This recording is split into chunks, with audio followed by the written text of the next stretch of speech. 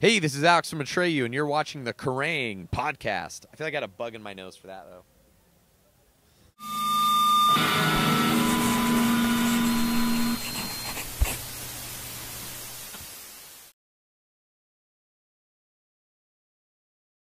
Um, many beers have been drinking at the Castle Donington, and many knights have jousted here to their death.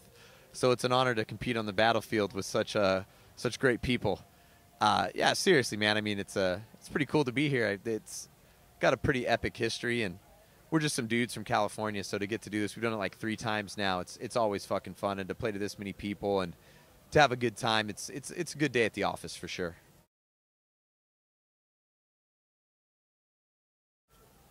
Uh, bring bottled water and plenty of hidden marijuana.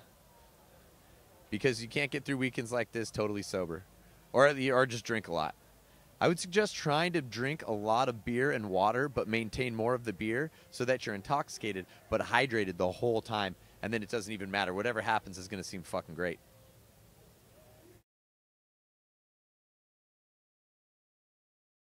Oh shit. I feel like you're. I feel like it's pretty fucked up to answer this question, so I'm not gonna.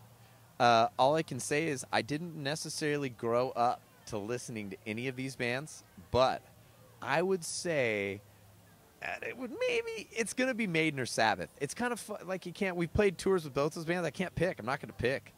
Some metalhead somewhere is gonna stab me for saying the wrong answer, so I'm not gonna.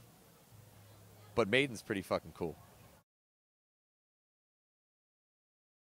Well, I, there's two that are tied about my two of my favorite things. Basically, are tied for being back in this band, and one is is playing music with my best friends. We've all been friends since we were like 12 or 13 years old, uh, and we're in our 30s now. Uh, and then also, uh, I would say when we play, like looking people in the eyes and singing along, like making eye contact with people when they're singing, and seeing, seeing people share uh, in what we're sharing is pretty rad.